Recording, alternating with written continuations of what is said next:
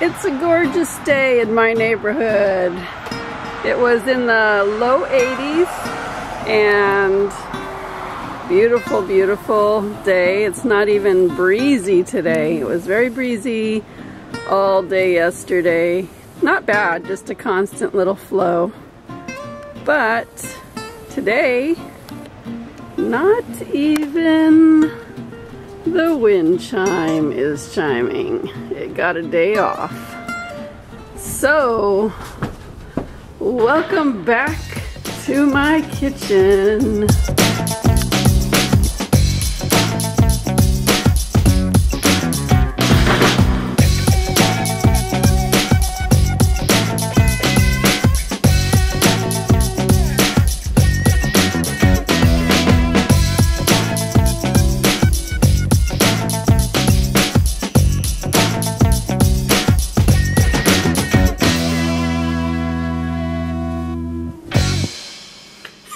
liked my dance. Welcome back to my kitchen.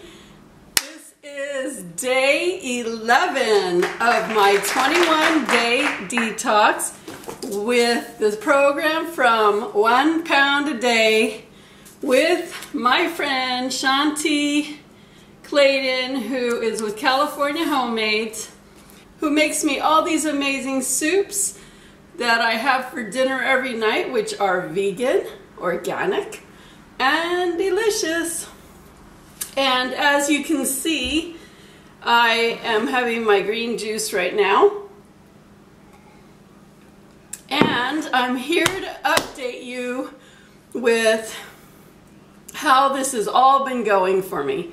So last time I saw you, I think it was day six or I think it was day six. And a lot has happened since day six. So I started going into my, they call it in this book, a healing crisis, where the toxins start dumping out of your um, organs and your blood and your whole body. They start dumping faster than your body can process them. And that's when you're really hitting the, the detox, when really things have been going for, for several days. You're giving your body the rest it needs from all the digestion, from eating and stuff. It has all the nutrients, as you know, that, you know, I drink every two hours some sort of healthy drink. If you didn't see my last two videos, please watch those because it talks about what I do every two hours. And so anyway, all of a sudden the toxins are dumping so fast that your body is, has a hard time keeping up with it. So you really start feeling those detox symptoms. And for me, it was, it started coming on, but then one night it just hit me. I mean, hit me.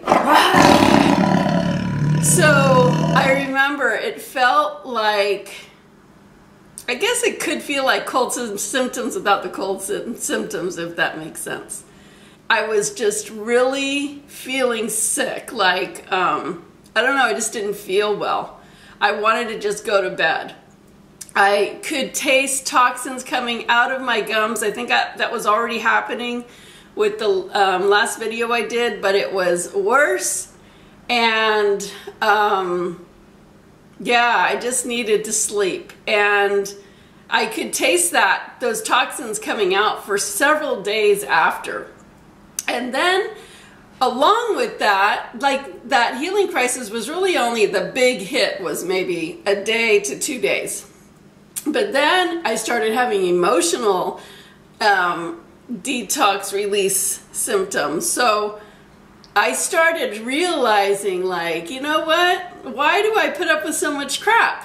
Why do, um, you know, I got to stand up for my truth and be in my truth. And, you know, I know in my work, I'm probably more compassionate and forgiving and caring than most people are. But I needed to really look at that and say, you know what? Yes, I'm here to make a difference. I'm here to lift those people that need to be lifted, and some people need to be lifted more than other people. But you know what? I decided that's not my job. I got really clear. This is what happens with the detox. You start getting real mental clarity too. You start releasing these emotions. You start releasing the stuff that's been hidden in you that's that you've been taking on, whether it's sadness, anger, um, taking advantage of, uh, whatever it is, okay? And uh, you start getting really, really clear like, whoa, wait a minute, what's been happening? And no, this is not okay. So um, I started really deciding who my real clients were and who I really wanted to work with. And I don't have to dig at the bottom of the bucket if I don't want to dig around in the bottom of the bucket. And I was just thinking, I had written this thing. I had scribbled out this thing like, you know, I was getting all this clarity, so I wanted to get on paper. And this isn't the final, but I was thinking like, if I could work with anybody. So most of you are watching this, or maybe not, know that I do spiritual journeys. I take people to Hawaii, to Mount Shasta, to Peru, to Egypt, to, and I'm going to go to India next year. I'm just I just take people to a lot of places for transformation, to really get clear, to really let go of, figure out what's been in their way and how to move forward.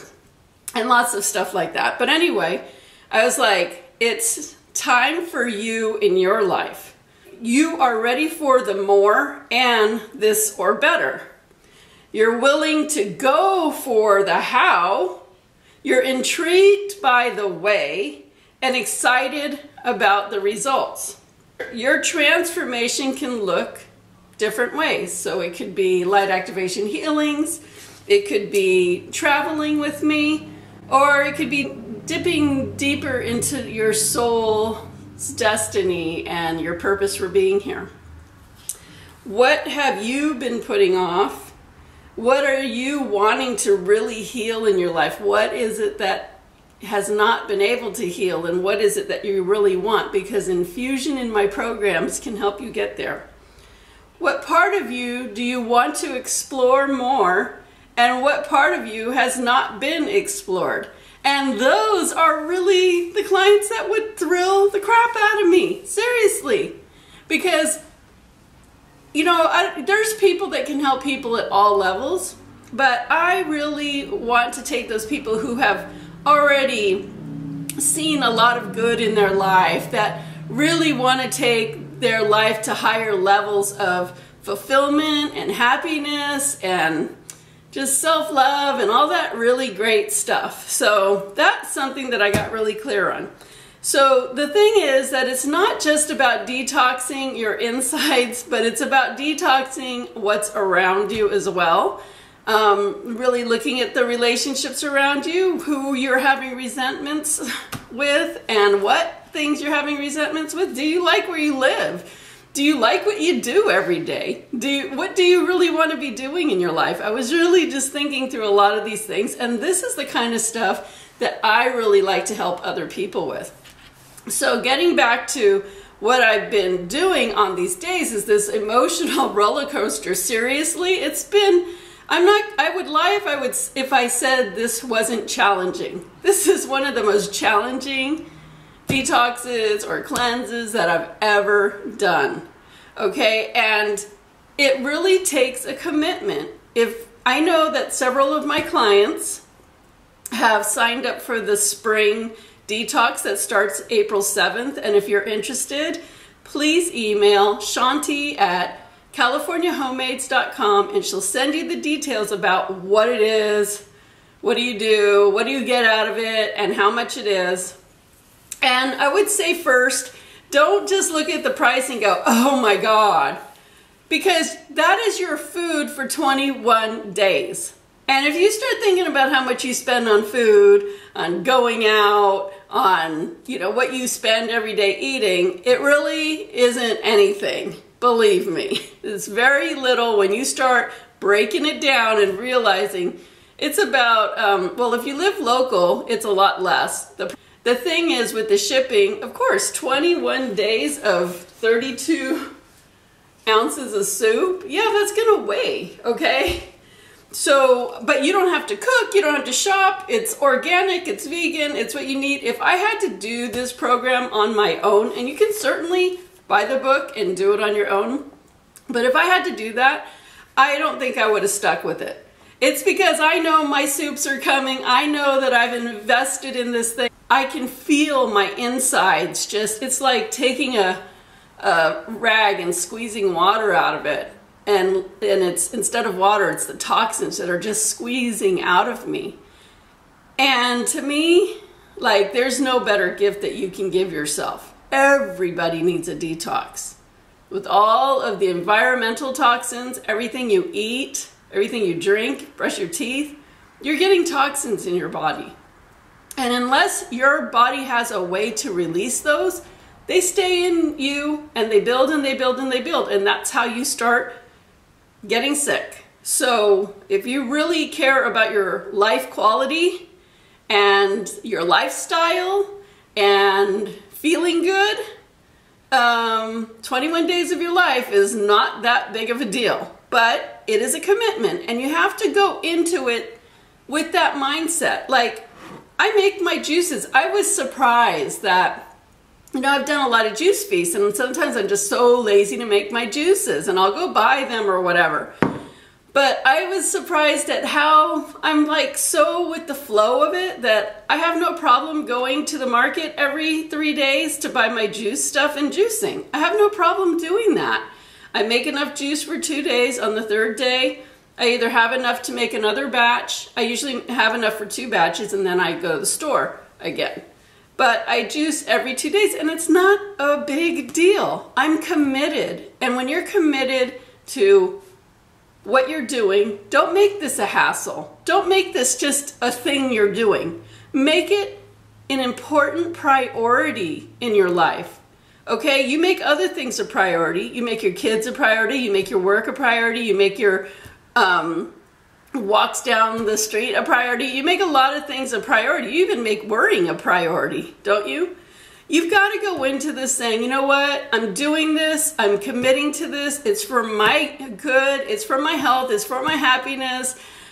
I'm my body is just going to get clean and I'm really going to just go for this. Even when it's hard, I'm going to keep pushing through. And I'm saying this because it got hard for me. I think day seven, I got so damn hungry. I don't know why, because I wasn't hungry the whole time. But all of a sudden, I was just like wanting to eat. I just wanted to eat so bad. I was drinking and drinking and drinking any water, juices, anything. It was nothing was making me feel satisfied. I was like, let me just go to bed. And so I was annoyed. I started getting annoyed. And you know what? Our emotions want to come out of us. So things will happen for us during, I say for us during the day to help us get our emotions out of us. So I was like getting annoyed. I wasn't having fun with this. I just couldn't wait for it to be over. It was really hard. I had to keep pushing through. I had to keep pushing through. And one day I just like laid on my bed. I said, I'm just not even going to move from my bed today. I'm just so irritated. I'm, I want to eat. I just, I'm not happy. And I just laid in bed. And that's what I did. So, um, you know, it's waves. And now is day 11. And so I have 10 more days. And I finally woke up today like I feel normal. Okay, yesterday, last not last night, the night before, I couldn't sleep enough. I slept almost a solid 10 hours. And I could feel the insides of my body regenerating, detoxifying. Okay? You have to pay attention to what's going on with you every day on this thing. And my body just needed that downtime, even though I needed to get up and do things. My body, I could feel it was needing that extra just downtime to detox more and regenerate. That's what's happening when you're doing this detox. You are eliminating toxins, and because you are not eating, you're not having to use your energy on digesting. So it gives your body a chance to work on something else instead. And it works on creating healthy living cells. It's working on your health. It's working on rejuvenating and regenerating you. Think about that. That is amazing. that you're giving yourself that downtime for your body to repair itself, strengthen itself, boost itself, re-enliven your organs, your blood, your muscles, your cells, everything about you. So I just listened to my body and I said, fine, I'm just staying in this bed until I feel like I'm done. And it was about 10 hours. And last night, again, I was detoxing. I could, it wasn't, um, it wasn't like hard. It wasn't like, oh, I'm detoxing like it was hard. No, it wasn't like that. I could just like smell the toxins coming out of me. I could feel that work happening because I went into these really deep sleeps, really, really deep sleep. So I knew that that's what was going on. And when I got up in the morning, I could smell myself that I had detoxed. And that's like not a normal smell for me. And I was like, whoa, okay, stuff is happening. So this thing works. And when you think about you're giving your body a chance to repair and regenerate, that's a big deal. So you have to go in this with the right attitude. It's not something just extra that you're doing. It's not some hassle thing. It's real. It's about really loving yourself enough to do this. When's the last time you did this for yourself? Maybe never for some of you. So push through the hard days. Just push through it because day 11, and it's different for everybody, was finally my day where I felt good. Like I wasn't feeling like I need more than I than I need. And I feel good. I feel um, like I can do things. Like I just feel much more normal now. And so it, I'm really happy. Thank you. I'm really happy. And I hope the rest of the 10 days is like this. Anyway, and some great news is yesterday I weighed myself and I found out I lost 16 pounds in 10 days. So that's pretty awesome. I knew I was losing weight because my shorts are falling off of me. Literally, I'm like pulling them up, pulling them up, pulling them up. And I have stairs in this house and running up and down the stairs. I just noticed I'm just a lot lighter. But when I saw 16 pounds, I thought, that's pretty damn good. So let's see how the next 10 days roll out. And um, if you're ready to give yourself a gift of life and get ready to give yourself a higher quality of living, and you're ready to give yourself higher health and happiness, jump on the bag wagon. Email Shanti at CaliforniaHomemades.com and jump in. And so that's my update for today. And we'll see how this road continues to roll out for me. And I hope you're all doing well, and I'll see you all later.